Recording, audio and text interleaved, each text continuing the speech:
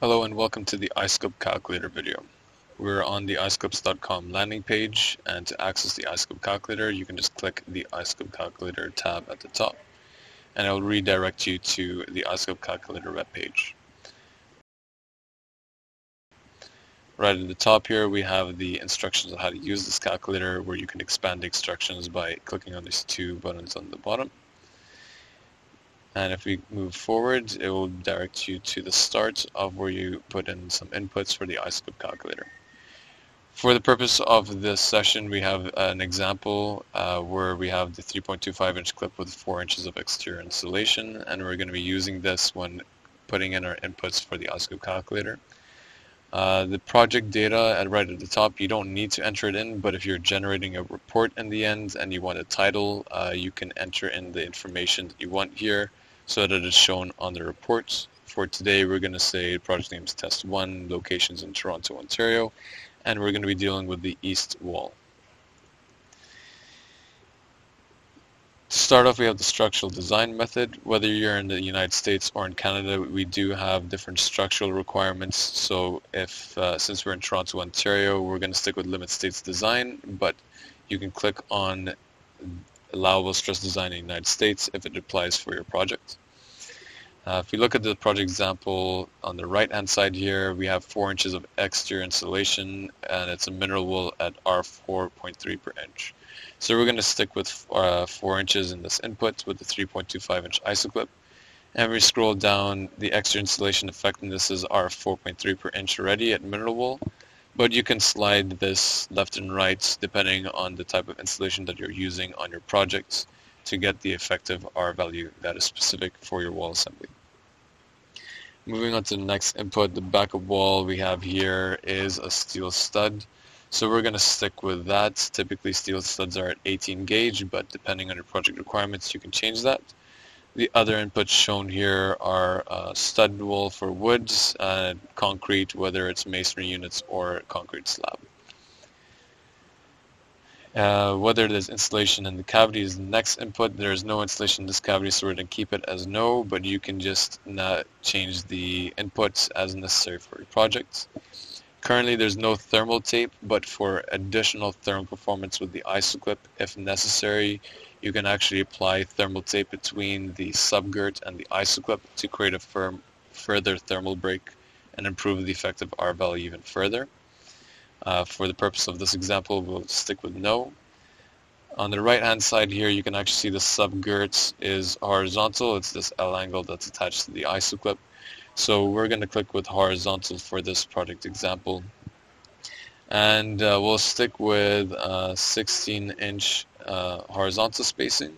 This is typically based on your stud spacing as you have to install the isoclip into the stud. Uh, 24 inches is typically used for concrete, uh, but sometimes studs are spaced at 24 inch in center. And in some scenarios, you can actually install the isoclips every other stud, which is why 32 inch is also an option here. For the cladding dead loads, uh, for the project example, it actually shows here it's 4 pounds per square foot. So we can actually slide this bar to 4 pounds per square foot, but again, depending on your project requirements, you can slide it to the option that's necessary. For vertical spacing, for the purpose of this, I'm just going to stick with 36 inch for now and move on to the next section. Uh, we are going to consider girts in this calculation, so I have this as yes, and I'm going to stick with 18 gauge for now. In the top right here you have a summary of the results which actually follows along with you as you scroll up and down the isoclip calculator. And it's very helpful because it updates automatically as you change your inputs. Uh, so let's say for example we want to find out how we can improve the effective R value from R17 to something better. Uh, one example is you can change the type of insulation you use. So if we want to go from mineral wool to uh, XPS, we're now going to an R5 per inch and the maximum possible effective R value is increased to R19. You could also potentially add thermal insulation tape between the isoclip and the subgirts, which further thermally breaks your system. So if I click on yes here, this now moves to R20, for example. Other thing you can find out is uh, determine if you can improve the maximum specified wind load based on your governing components. So if I click on, let's say, girt orientation is vertical, you'll notice that the govern component is now the subgirt. So what that means is the girt is the govern component of the specified wind loads. Uh, so if you decide to increase the girt gauge from 18 gauge to 16 gauge, the maximum specified wind load has now increased to 62 pounds per square foot.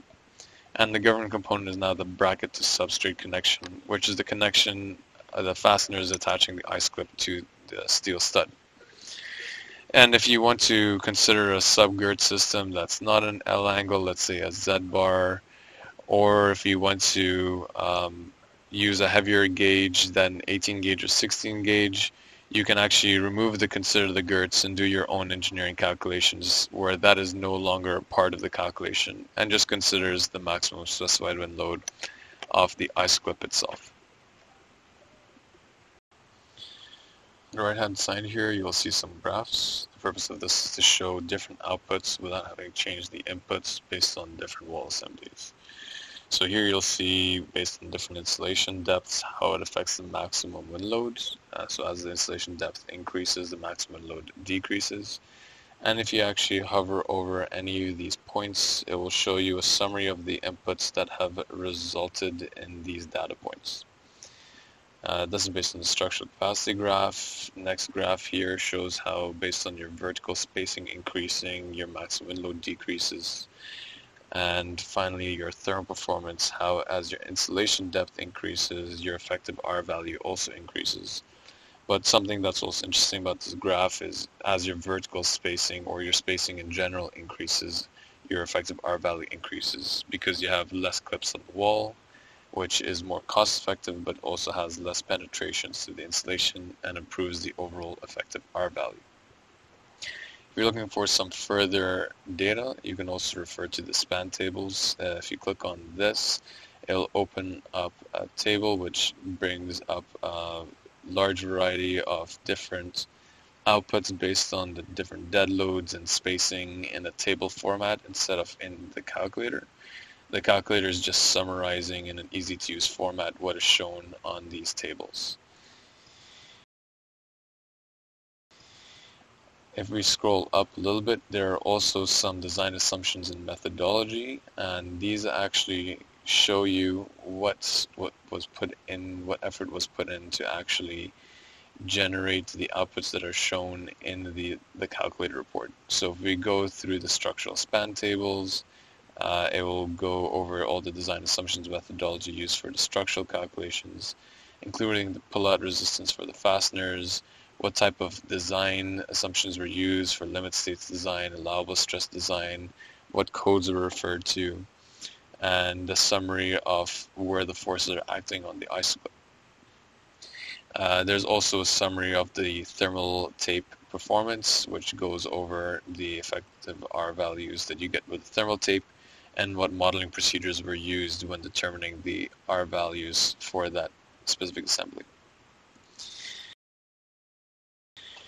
You can also generate a report which summarizes all your inputs and your outputs by clicking, but putting in your information here. Uh, if you've entered in your information in the past, you can just regenerate the principal reports and it comes up with a report summary that looks like this. So going back to the data inputs that you put in, I had East, Test 1, in Toronto, so that's shown at the top of this report.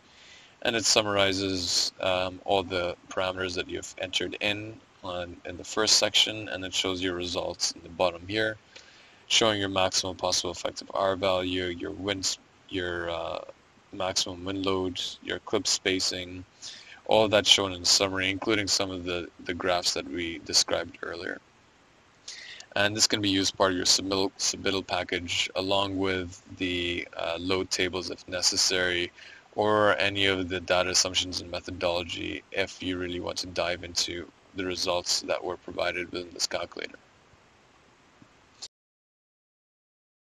If you're into estimating, then you can actually enter in your wall width and heights, and that will end up spitting out a very approximate number of clips uh, for the your project. So if I put in 100 feet by 33 feet, you need roughly 740 clips uh, based on your 16 inch by 36 inch clip spacing. Now as you change your clip spacing, let's say I went with 24 inches, you'll see this automatically updates as well.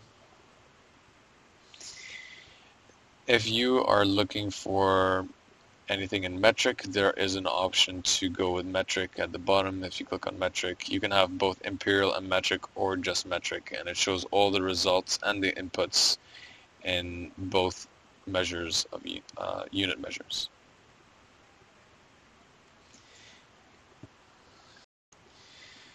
Finally, if you have any questions, want to go over the, calculator, go over any of your reports, or have any general IsoClip inquiries, feel free to call us at 1-844-740-2050, or you can email us at info at isoclips.com, or feel free to click on the Contact Us tab on the website and fill in the contact form, and we will reach out to you as soon as possible. I hope you were able to learn something through this video. Have a great day.